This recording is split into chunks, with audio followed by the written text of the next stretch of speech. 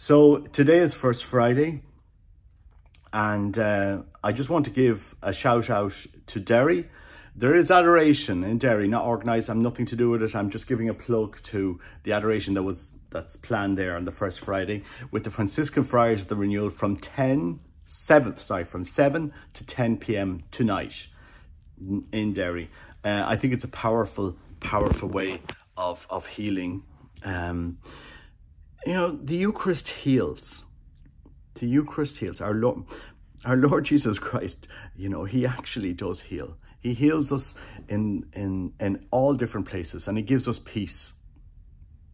And uh, there's been a lot of men reaching out to me, a lot of stories coming to me about the adoration that was done on the 19th of November. A lot, a lot of stories. And uh, that's our Lord Jesus Christ. That's what he actually does. You know, we just have to point people to Christ and he does the healing. You know, evangelization is putting people in front of our Lord Jesus Christ to encounter the living, beating heart of the second person of the Holy Trinity. Body, blood, soul and divinity of the second person of the Holy Trinity. The living, beating heart of Christ.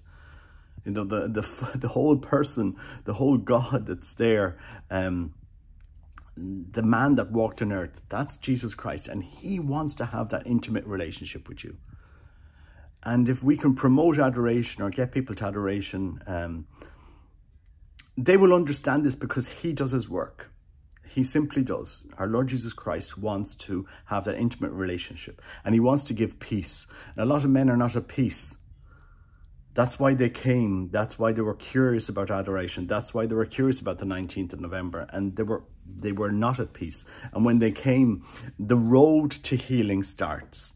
Confession, the road to healing starts. Christ doesn't care about your past. He doesn't want you living in the past. And he doesn't want you anxious about the future. He wants you fully present with him in this moment of time. So, tonight, um, today is the Friday the 2nd of December, tonight in Derry from 7pm to 10pm in St. Joseph's Chapel. Derry Healing Night with the Franciscan Friars the Renewal. You'll have confession there if you want it, adoration, healing. I do recommend you go there. I'm in Singapore at the moment, so I won't be there, but um, I do recommend you go to adoration and uh, ask Christ for what you need. Ask him for healing. He wants to heal. He wants you in peace. Ask him. Ask him. You know, just go there. Lord, help me. What help me? He will help you. I guarantee you, there is no doubt whatsoever in my mind that if you ask Jesus Christ for help, he helps. Just ask him. That's all you need to do. Go there and ask him to heal you if you need healing. If you need help, uh, talk it out. Talk it out. Go to confession. Talk it out with others. Get help. Um, it's a powerful, it's a powerful way. I wish this was done more in Ireland. I wish adoration was promoted more in Ireland. I wish people understand the real power of the Eucharist, the real power that Jesus Christ gives. And the healing that he actually does. He, he, he actually does want to heal. He wants to get in there and transform souls. But he respects your will. And if you don't ask, if you don't point people to Christ, they don't know about this great mystery.